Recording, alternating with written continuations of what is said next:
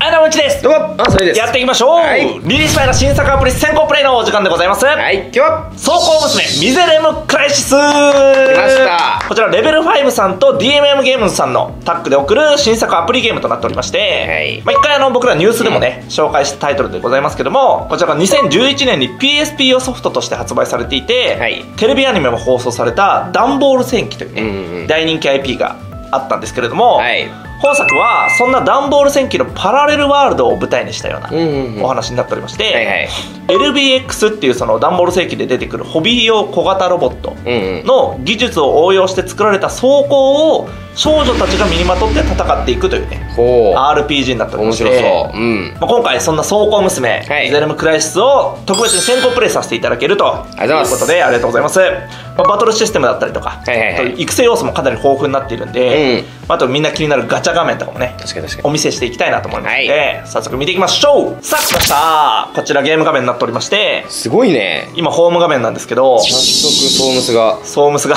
すごい動いてる。そうです。えめっちゃ綺麗。これプレイヤーはですね、うん。指揮官になってこのね今映ってる装甲娘たちと一緒に世界を守るために戦っていくみたいな感じなんですけど、はいはいはい。前ね映ってるこれがアキレスといううん。ソームスちゃんでございましてすごいね。こういうね可愛いキャラクターみんなライブ 2D でぬるぬるとはいはいはい。動いてくれるわけなんですけど、うん。これが今その装甲を身にまとってる状態なんですよ。はいはいはい。でね、おはい。おえ全然違うんやそうなんですよ。性格まで変わっちゃう感じ？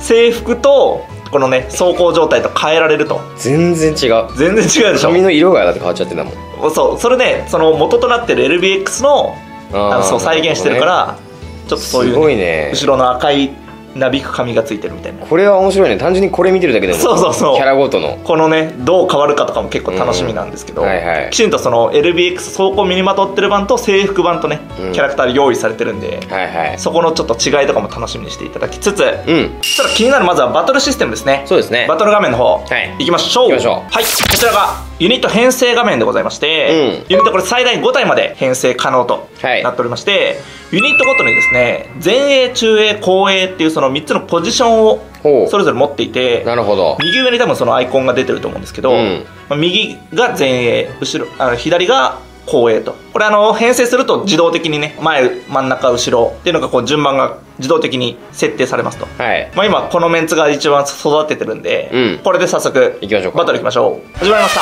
うん。これバトルだとねキャラクター SD のキャラになってるんですけど、えーかわいいね。はい。ちょっともう早速今言っちゃいましたけどこれセミリアルタイムオートバトルとはいはいはい。なっておりまして、通常攻撃はオートでしてくれて、うん。任意のタイミングであのタップしていくことで必殺技を発動していくと。あなるほどね。はい。早速まずは必殺技打ちましょうか。さっきのアキレスちゃんの必殺技。はい。押すとライトニングランスこんな感じで。え演出派手ですね。そうなんですよ。へえ。今のが必殺ファンクションですね。なるほど。でこれキャラアイコンの上にうん。アシストファンクションっていうのがあってありますね。それもちょっと押してもらうとはい。これがすごいのがえうん。すげえすげえ。ほらこれ。あ。これはですね合体した。そうそうそう。装備している LBX で攻撃できるということで、そのねダンボール戦記でも出てきてたえアキレスちゃん死んじゃったんだけど。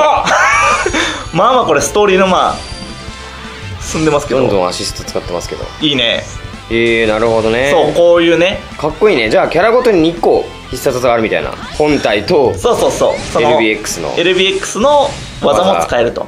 2種類見れるってことでしょ？そうそうそう。いいね。でこれあの LBX の方は別にあの自分のその元となってる LBX じゃなくてもえすごくない LBX によって変わると。じゃあ組み合わせでそうそうそう。好きな女の子に結局装備できるってこと？そういうことです。なるほどね。まあ、そのタイプがあるんで装備できるできないとかあああるんですけどなるほどね、はいまあこんな感じで、まあ本当にねバトルはめっちゃ簡単。簡単ですねなんですけどちょっともう一個見せたいのあるんで、うもう一回バトルいっていいですか？はい。さあバトルもう一回始まりましたけども、ちょっとねあの一番右下？あーなんかありますね。そうです。これユニオンファンクションって書いてあるんですけど、うん。まあ、いわゆる連携技みたいなやつはいはいはい。がちょっと発動できるんで、うん。ちょっと溜まるまで待ちましょう。 OK はい。OK いきますよ。行きましょう。ユニオンファンクション。これのね演出もちょっと注目。押します。はい。すげえ。これはなんと編成しているその5体のうん。必殺技を同時に発動すると。いく。やばい。えなるほど。クソかっけワンパンじゃん。はい。すげえ。強っ。こんなねユニオンファンクションっていうまあ連携攻撃もあるしなるほどね。キャラの必殺技もあるし装備の必殺技もあると。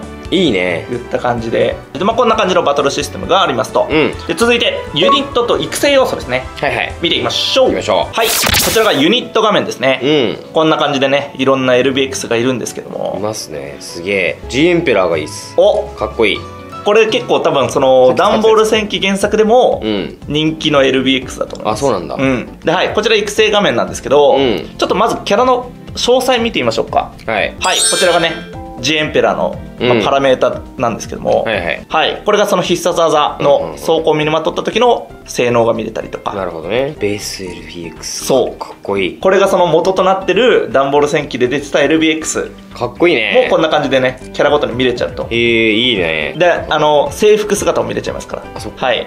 あー変わってない。そうだねこれはあんまり変わらない。想像通り。アキレスが逆にめっちゃ変わるんレですねスエグかったねな。るほどね。はいこんな感じでやっていてキャラごとにねこのプロフィールとかもうんうんうん。まあ楽しんでいただければと。でちょっとこのね育成要素がかなり豊富になってるんで、うん。そこも見ていきたいなと思います。はいはい。はい、まあ、今これ全部ねあの左側に5つうん。出てると思うんですけど、一番上のこのリミット解放。うん。これはあのこのね5つのそのパーツあーはいはい。を集めて、レベルの上限。そうです。レベル上限を解放できると。なるほど。さっき20がマックスってななってたもんね。そうそうそう、うん。で次30まで解放できると、はいはいはでい次強化をしてもらうと、まあ、これは専用アイテム使ってそのレベルをねうんうんうん。上げると。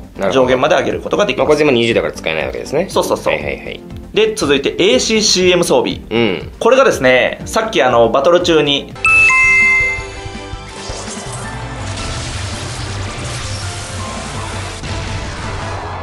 そうアシストファンクション。で使ってたのがここの ACCM、まあ、装備アイテムみたいな感じですね、あこれ変えちゃ変えれちゃうんだ。そうなんです。ちょっと押してもらってするとこんな感じでね。へえこの ACCM も育成するみたいな要素があるんだよね。続いてコアカスタムですね、はい。ここもねかなりやり込み要素の一つになってまして、うん。まあ一言で言うとパッシブスキルを装備できるみたいな。でこれがね星の数に応じてうん。この装備できるパッシブスキルのまあ数がどんどん増えていくで最大5つなんですけど、はいはいはい。だからガチャとかだといきなり星3のキャラとか手に入るんだけど、それは要はこのねパッシブスキルの装備できる数がいきなり多いってだけでえあそうなんだ。このジエンペラもあの星5まで育成できます。で最後一番下ですねギフト。はい。はい。なんとこの制服姿のねキャラクターにプレゼントを与えて信頼度を上げるとなるほど。いうことができちゃいますで信これ頼度マックスまでってどうなるんですか？信頼度レベルが上がるとうん。キャラシナリオがねどんどん解放されていってああなるほどね。そのオリジナルのねストーリー的な部分分とかあとガチャの石も手に入ったりとかいろんなね育成要素だったりとか、はいはい。やり込み要素が詰め込まれているとうん。いった感じでございます、はい。そしたら最後ガチャ。行きましょうか。いきましょう。さあ来ました。お待ちかねのガチャ画面でございますけどもいきましょうか。いけ。たら、まあ、ピックアップ3体ってことねじゃあ今の見てる感じ。のかな？星3が多分3体ピックアップされてるのかな？もうクリアしたってことは新ユニット来るってこと？もうめっちゃ上先にクリアしちゃってるの。これミッションクリアで分かっちゃあお来おいいね。まあ星3あ確定だからね。そうかそうかそうかそうそうそう。たビビンバード、はいはいはい。いいねこれ。面白い。ビビンバードめっちゃビビンバードドそうめっちゃいるんよあもあもうすごいスキップされうスちゃった。キップされたね。おおこれかっけえかっこいい。あこれね原作の方で確かこれ見た気がすんな。めちゃくちゃ強そうなんだけど。破壊王だぞ。だって破壊は名前が。確かに。相当強いよ。マッドドッグ。へえ来たそしてこれ。なんとかコマンド。ここ。違うけど。アキえレスじゃん。本当だ。の違う版だなんかかっけえ。悪い版なのかな？アキレスティード？ディード。ディード？えかっけえやん。かっこいい。ちょっと LBX 見て。おおすげえ。ええ何？違うじゃんもう。あそういうことね。そうこれアキレスのそうそうそう。敵版みたいな。のが多分あれだ。だから逆にこのねこのじゃあソームスだとこのキャラはどういうポジションになるかとかも気になるね、まあ、こんなはい。ガチャもね。うん楽しめるといった感じでございます、はい。はい、ということで、はい。走行娘ミゼルムクライシス、紹介してまいりましたけども。いや本当に個人的にも僕はもうダンボール戦記全く知らないけど、はいはい。その少年心うん。くすぐられるようなこのロボットのですね。まあ LBX ですか、うんうん。の見た目だったり、単純に女の子が可愛いっていうはい。部分で普通にやってみたいですね。そうね。はい。でもちろんそのダンボール戦記ファンはねうん。もちろんのこと、ダンボール戦記知らない人でもほんとね。楽しめる作品になっていると思いますんで、ストーリーもめちゃくちゃ気になるところです。ですね、はい。ぜひ手に取っていただければと。そんな「走行娘ミゼレムクライシス」は2020年春から初夏にかけて配信予定となっております。もうすぐですね。で今事前登録絶賛受付中となっておりまして、はいはい80万人達成で、うん。あのレベル5のねジバニャンの走行娘も。それはげ登場するやっぱ倉庫娘もっていうワードで今ちょっと不意に笑いを生んだけどまあ気になるてか単純に気になるわ。そうなのよ。ジバニャンがどうそういう少少女とね。そう。だからねあうん。のダンボール戦記の方で確かそのジ・バニャンっていう LBX がいて、あいるんだ。それの走行娘版気になるね。気になります。非常に、うん。はが皆さんもらえるようになるということなんで、まあ80万はいくでしょまあ行くでしょレベルこの勢い5はさんと DMM さんの力を持ってそれうん。はい。まあ、まだ登録してないよって方はねぜひ公式サイトの方から事前登録してください。というわけで最後までご視聴いただきありがとうございました。また次回の動画でお会いしましょう。またね。え